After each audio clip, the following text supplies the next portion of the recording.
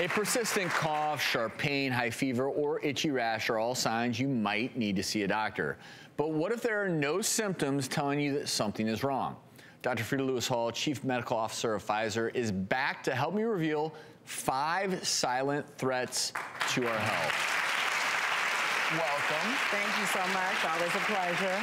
So let's start at the top, right? Your eyes may be at risk. So about half of the people who have glaucoma in the United States don't even know that they have it. Why? Because early and middle stages of the disease, there may be no noticeable symptoms. Glaucoma is an eye disorder that can lead to blindness.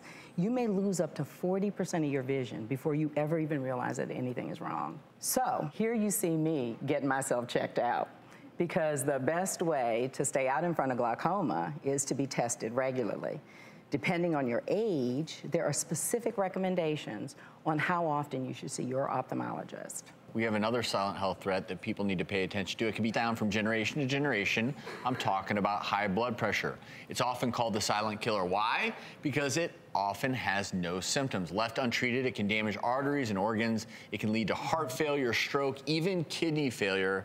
And high blood pressure can cause vision changes and even lead to blindness. And you know, anyone can get high blood pressure, but this is a silent health threat that may actually involve race and gender. So, African Americans developed high blood pressure more often and earlier than others. And more African American women have high blood pressure than men.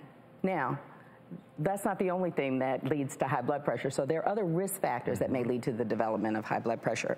If you smoke, if you drink too much alcohol, if you eat too much salt, if you have high levels of stress, and if you're overweight, you may be at risk. And believe it or not, did you know that certain over-the-counter medicines can increase your blood pressure? Speak to your pharmacist or healthcare provider before taking medicines because if you have high blood pressure, Blood flows through those arteries at a higher than normal pressure. That can cause your heart to work too hard, in some cases leading to heart failure. That's why I always say know your numbers, have your blood pressure checked at least once every two years or more, certainly if abnormal. 120 over 80 or less, that's considered normal, whereas 140 over 90 or above is considered high blood pressure. You don't want high blood pressure and not know about it. Here's something else you don't want and not know about, and that is sexually transmitted diseases.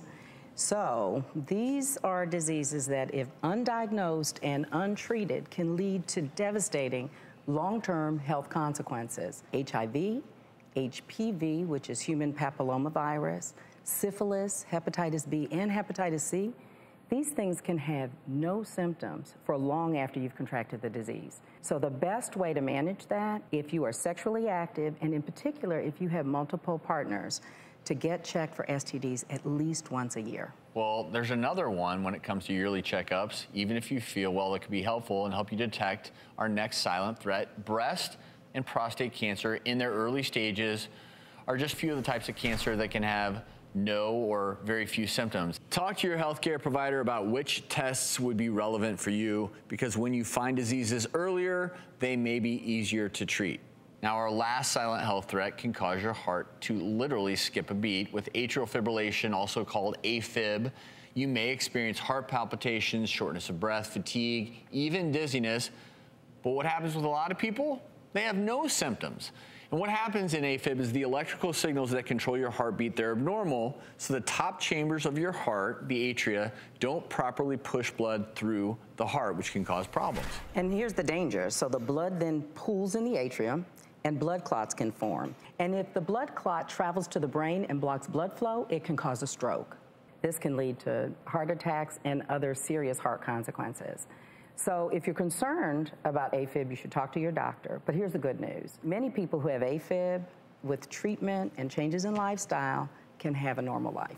So Freda, you mentioned lifestyle changes. I have a Fab Five to live by, including healthy diet, regular exercise, limit alcohol, no smoking, and reduce stress.